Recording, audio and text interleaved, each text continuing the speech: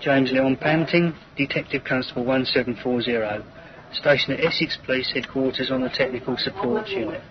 About 5.15pm on Tuesday the 19th of December 1995, I was on duty in the information room when I made a recording from the Racal multi-track machine situated therein.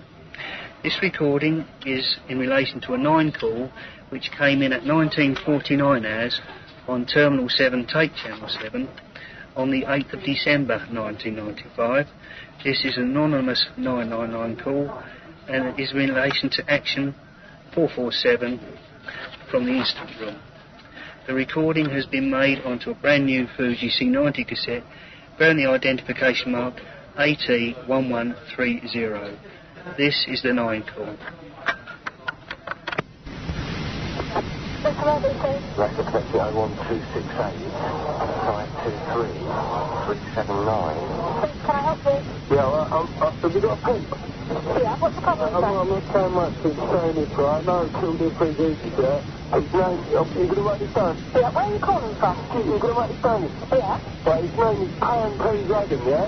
Pan Pen Dragon? Yeah. You got that, mate? Yeah. Right. Hello. Hello. Yeah, where was the coming? Payphone, I'm sorry I didn't mention, passed that when I gave the number. It's outside Rundells Walk. Russell's Walk? Yes, R-U-N-D-E-L-L-S.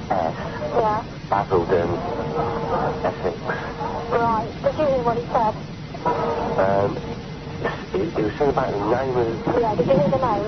I just wanted to confirm whether you got the same as me, that was all. um, somebody Pendragon? Yeah, Pan. I thought he said Pan. Pan Pen Dragon. Dragon, yeah. Yeah, okay, that's fine. Yeah, that's lovely. Can I release that Yeah, one? you can, yeah. Thank you. Thank you, bye-bye.